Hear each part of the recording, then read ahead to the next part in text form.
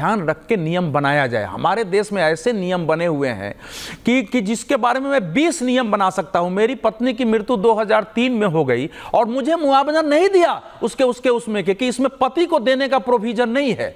अगर आपकी मृत्यु हो जाती तो पत्नी को मिल जाती। तो ऐसे अनेक नियम हैं लेकिन इस मामले में ये हमेशा होता है इन्होंने ऐसे इशू उठा दिए हैं। लगातार ऐसे इशू बना रहे हैं। बहू की परिभाषा क्या होगी ये भी तय होना चाहिए। अगर यह है कि भाई अगर वो बहू के पास पैसे हैं तो क्या वो बहू अगर फैमिली से जुड़ी नहीं होती है तो क्या होता है? क्योंकि एक नियम तो साफ़ है कि अगर वो लड़की शादी करती है तो उसका पेंशन रुक जाएगा। सरकारी मशीनरी का रोल है क्या? प्रेम कुमार जी इसमें सरकारी मशीनरी का तो मुझे कोई रोल नज़र नहीं आता क्योंकि उन्होंने तो वही किया होगा जिस तरह से पहले से कैप्टन अंशुमान ने तय करा होगा। मैं फिर वही कह रही हूँ कि जो भी अपनी आ, मंशा से जो तैयार करता है क्योंकि एक बकायदा फॉर्म भराया जाता है कैप्टन कर्नल शैलेंद्र सिंह बेहतर बताएँगे।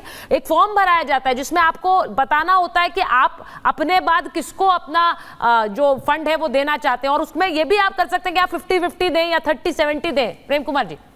ये निश्चित रूप से फंड को तो आप इधर उधर बांट सकते हैं हाँ। लेकिन मोहब्बत को कैसे बांटते हैं? नहीं बांट सकते। तो फंड को डिसीज़न लेने का अख्तियार शहीद तब जब जीवित थे उनके पास था और रहता है। लेकिन अब इस विषय पर जब हम चर्चा कर रहे हैं तो हाँ। ये ध्यान में आता है कि क्या वो उतने परिपक्व व्यक्ति नहीं होता है? क्या कि अपने ही माँ बाप के सोचने से बिल्कुल डिफरेंट सोच करके एक डिसीज़न ले चुका होता है? एक एक बात ये समझ में आती है। तो क्या एक सोशली एक बाउंडेशन होना चाहिए कि ये जिसको रूल बोल करके हो कि ये सब पर मान्य होगा? ये मानना ही पड़ेगा मॉनेटरी मामले में। एक व्यक्ति डिसीज़न लेगा उससे गलती हो सकती है। वो पत्नी के प्रभाव में आए तो पत्नी को सौ प्रतिशत नॉमिनी बना दे। वो माँ बाप के प्रभाव में रहे तो माँ बाप को बना दे। तो इसमें गलत गलती तो हर सिचुएशनल है ना। उस बच्ची महिला के जो विधवा हैं उनके गोद में अगर बच्चा होता तो हम सबकी सहानुभूति उस बच्चे के साथ होती। इसी तरीके से कई परिवार ऐसे हैं जहाँ पर कि शहीद की विधवा को किसी न किसी रिश्तेदार के साथ में देवर जेठ कहीं से शादी कर दी जाती है कि ताकि ये तो ये ये इस परिवार में भी कहा गया। ये उनकी माँ कह रही थी कि छोटे बेटे से हम शादी कराना चाहते थे। उन्होंने ये ऑफ़र दिया। लेकिन ये उनकी ये महिला पर निर्भर है।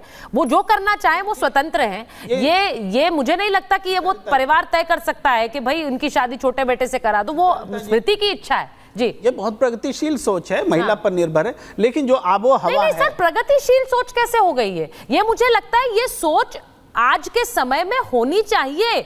हमें इस इस तरफ़ बढ़ना चाहिए। क्या ये ज़रूरी है कि परिवार कह रहा है कि उनके बेटे के साथ शादी करा दो तो वो सोचना चाहिए उस उस, उस महिला को भी वो उनकी मर्ज़ी है वो जो करना चाहे।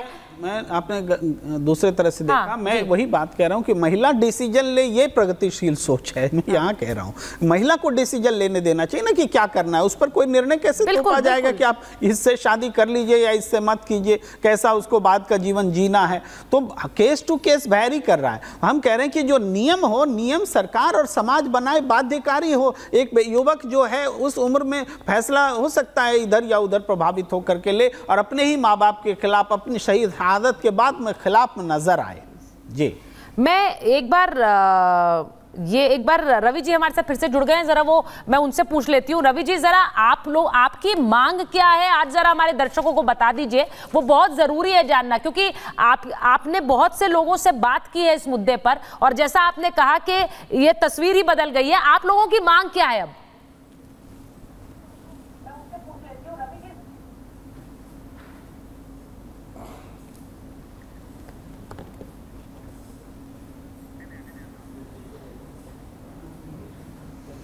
मुझे नहीं लग रहा उन तक आवाज़ आ रही है। कर्नल शैलेंद्र सिंह के पास जाएँगे। कर्नल सिंह मैं आप चाह रही हूँ क्योंकि मैं अगली खबर पर बढ़ूं उससे पहले मैं आपसे पूछ रही हूँ। इस पूरे मामले में क्योंकि ये बार बार ये एक तरह से तस्वीर दी जा रही है कि आर्मी क्या कर सकती है। आर्मी ने तो जो कहा है वो जो करना था वो कर दिया है अपनी तरफ़ से। मैं मुझे मैं ये आपसे पूछना चाह रही हूँ कि इसमें बदलाव की बात कही जा रही है कि कैसे बदलाव हो सकता है। अगर हमारी सोशल एथिक्स और इथॉस कहती है कि हमें बदलाव करना चाहिए बदलाव के ऊपर डिसीज़न और कंसिडरेशन हो सकता है। कोई बड़ी बात नहीं। But मुझे लगता है कि जितने भी लोग बात कर रहे हैं वो बहू कैसी थी आई थिंक ये हम उस लड़की के साथ जाति कर रहे हैं। वो बहू कैसी थी is not important what is important is कि वो अपने हस्बैंड के साथ कैसी थी पहली बात। जी। दूसरी बात ज़रूर इमोशनल कॉर्ड है मेरा कि माँ बाप का हक कैसे कम हो सकता है अगर बहू आ गई। But at the same time एक ऑफिसर वो भी मेडिकल ऑफिसर इतना इंटेलिजेंट ऑफिसर जैसा उसके फादर बता रहे हैं। आपको लगता है कि उसने किसी पागलपन में ये अपना विल लिखा होगा अपना एनओके डिक्लेयर किया होगा? वो अपने खुद के सिग्नेचर के साथ होता है। आप उसके लिए एक हार्ड ऑप्शन लेते हैं।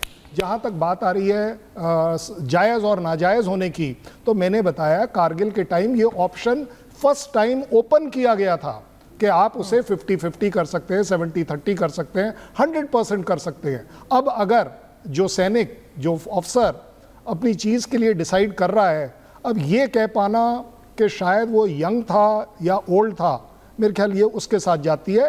He has taken a considered decision जहाँ तक बात आती है एक और बड़ी कि क्या उस लड़की की शादी किसके साथ होनी चाहिए।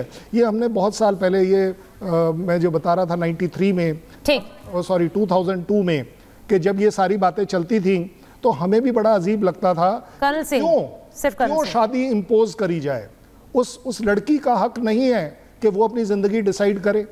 और जहाँ तक बात आती है कि किसी का बच्चा होना चाहिए या नहीं जी। अगेन उस नारी के साथ हम जाति कर रहे हैं हाँ। कि अगर बच्चा है तो सब कुछ मिलना चाहिए नहीं तो नहीं मिलना चाहिए। ये एक बड़ा सोशल पेचीदा मामला है। मुझे लगता है कि यस इसके ऊपर कंसिडरेशन ज़रूर होना चाहिए। और एक क्लियर कट पॉलिसी होनी चाहिए कि इस तरह का सम्मान राशि की बात नहीं कर रहा क्योंकि वो कीर्ति चक्र वो परमवीर चक्र अब बांटोगे कैसे? मुझे ये बिल्कुल सही बात है वो बांटोगे कैसे और इसीलिए परिवार जब कह रहा है कि वो हमारे पास होना चाहिए तो इसको लेकर एक पूरी बहस सी छिड़ गई। और मैं बार बार कह रही हूँ कि जो उनकी बहू हैं स्मृति उनको भी आकर शायद एक पब्लिक डोमेन में स्टेटमेंट देना चाहिए क्योंकि इससे बहुत सी धारणाएँ लोग बनाते हैं और मुझे लगता है दोनों तरफ़ से वो बनती हैं। तो उन धारणाओं को पीछे छोड़कर हमें आगे बढ़ना है उसके लिए ज़रूर है कि वो ज़रूरी है कि वो एक स्टेटमेंट दें। बहरहाल मैं आगे बढ़ती हूँ और आगे बढ़ते हुए कुछ तस्वीरें आपको दिखाना चाहती हूँ। अगली खबर पर जा रही हूँ। कल इस देश ने एक शाही शादी देखी। शादी आ, शादी अनंत अंबानी की और उस शादी में बहुत से सियासी मेहमान पहुँचे। अब मैं आपको जरा एक तस्वीर दिखाना चाह रही हूँ। वो तस्वीर इसलिए इंपॉर्टेंट है क्योंकि शादी थी अंबानी परिवार में और उसमें मेहमान थे, बॉलीवुड से तो थे, लेकिन सियासी मेहमान बहुत ज़्यादा थे। और उनमें सबसे पहले अखिलेश यादव का परिवार पहुँचा था। अखिलेश यादव अपनी पत्नी डिंपल यादव, अपनी दोनों बेटियाँ और अपने बेटे के साथ इस शादी में पहुँचे थे। ये तस्वीर जरा देख लीजिए। अखिलेश यादव के परिवार की तस्वीर है। इसके बाद उन्होंने एक तस्वीर ट्वीट भी की और बधाई भी दी है परिवार को, अंबानी परिवार को। उन्होंने ये तस्वीर डाली और कहा कि मैं उस शादी में पहुँचा बहुत बहुत बधाई अनंत और राधिका को। यह तस्वीर उन्होंने ट्वीट की। मैं ये तस्वीरें आपको क्यों दिखा रही हूँ?